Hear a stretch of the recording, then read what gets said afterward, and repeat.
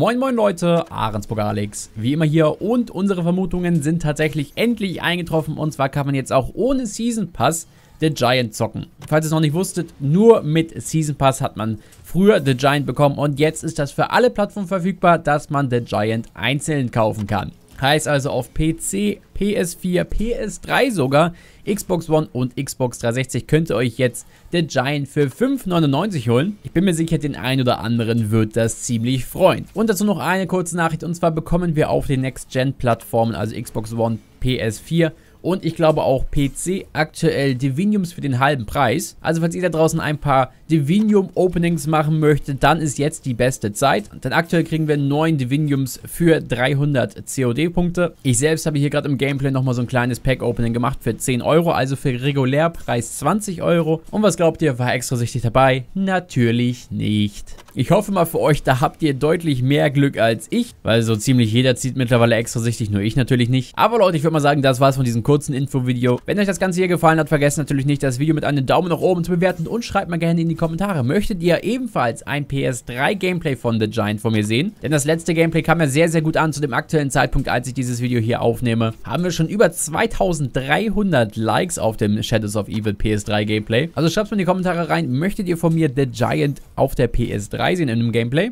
Aber Leute, das war's jetzt von mir. Ich wünsche euch noch viel, viel Spaß beim Zocken, viel, viel Glück beim Pack-Opening von den Diviniums und dann sehen wir uns hier demnächst wieder.